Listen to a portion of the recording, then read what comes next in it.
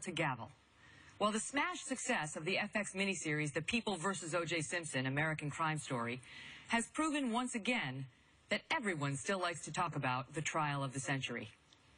Well, almost everyone.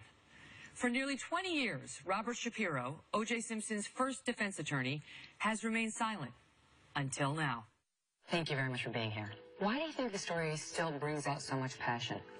I think because, number one, Simpson himself, great All-American hero, one of the greatest football players who ever lived. First time DNA was ever used in a trial uh, of any significance. Very interesting lawyers on both sides, and a horrible, devastating loss to, to two families. Mm -hmm.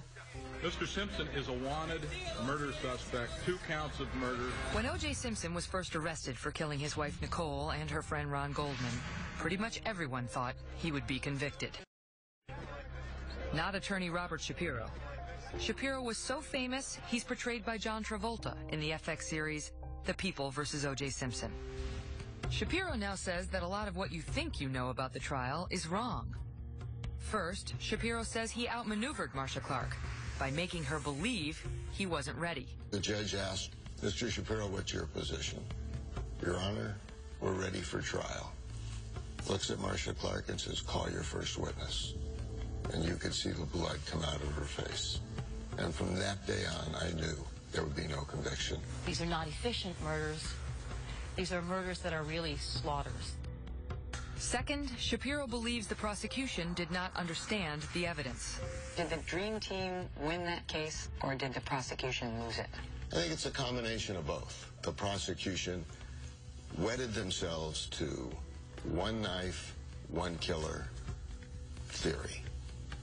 I think it's pretty clear that it was within reasonable medical probability that more than one knife was used. There's a strong possibility that more than one person was involved. And you believe the killer of Nicole Brown Simpson and Ron Goldman has never faced trial?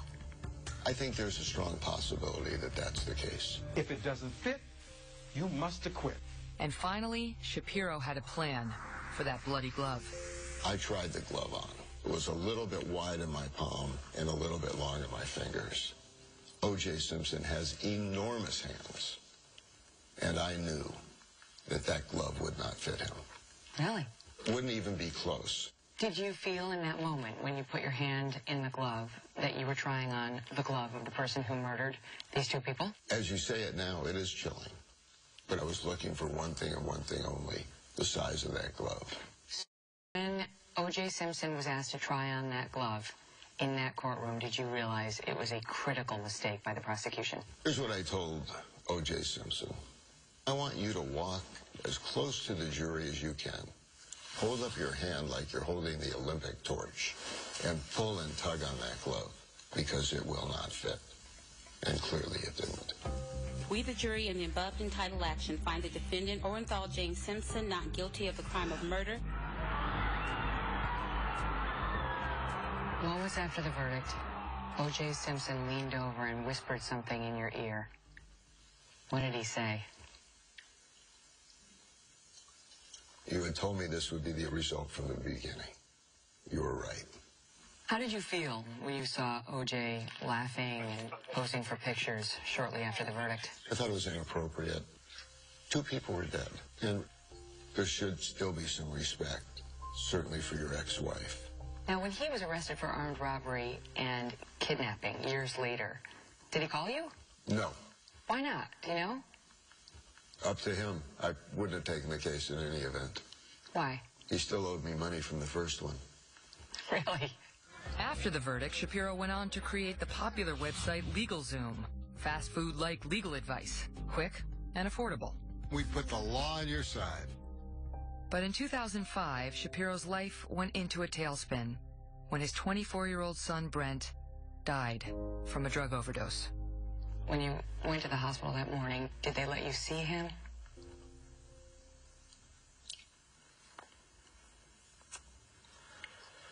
The most difficult thing that a parent will ever endure is seeing a child on life support with their eyes taped closed and standing next to his mother and knowing that you'll never see him again.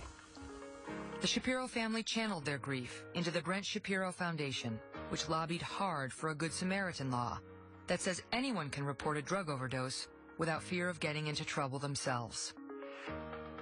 He wants this to be his legacy, but that's probably not what people will remember him for. What's the takeaway from the trial of the century? There's moral justice and there's legal justice. And when that not guilty verdict uh, was rendered, I felt legal justice was done. As far as moral